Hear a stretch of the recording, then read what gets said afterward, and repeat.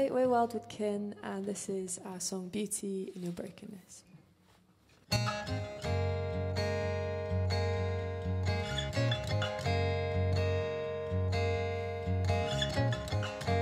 Feel like you'll never be enough. You're trying so hard to walk the line. Maybe you just need to realize the decisions that you make. It's okay to make mistakes. When you let go, you see it differently. As you break cold, break it recklessly. My faults are molding, shaping, making me. I know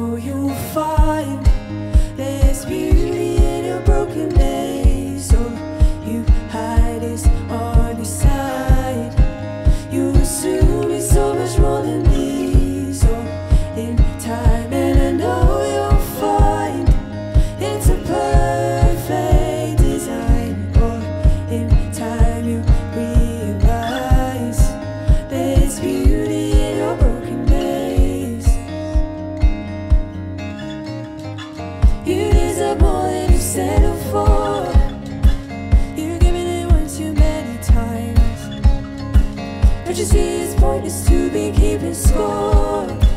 Through it all, you've come this far. It's made you who you are. Before you go, look back at where you've been. When you fell down, you did it beautifully. Your faults will mold you, making shapes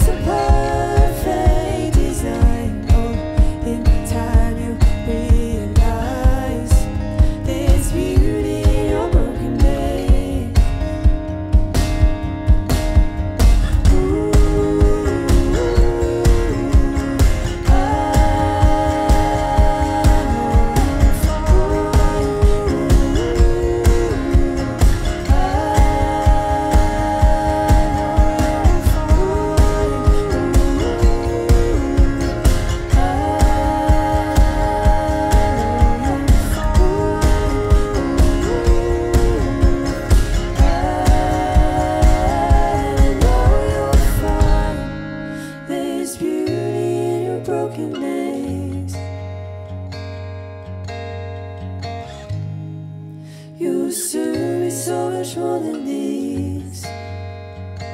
And I know you'll find it's a perfect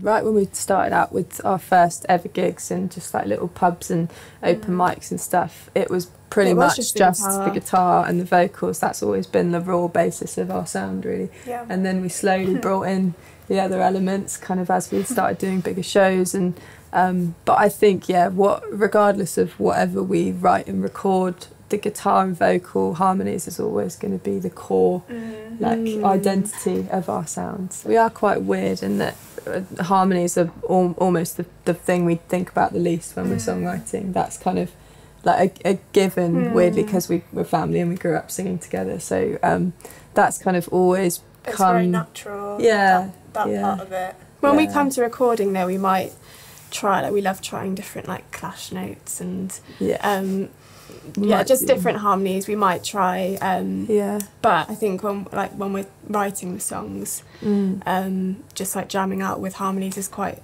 It comes to us quite easily, which is the easier part of the process. Mm. Yeah. Headed for the water, um, we wrote um, during quite a busy time, wasn't it? It was we were really hectic. We were like in between touring. Um, I think maybe in between festival season.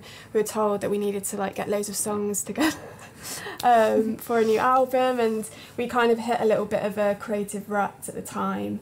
Um, we were in a writing session. We were trying to write this song that just wasn't working out, and then we just decided to like strip it all back.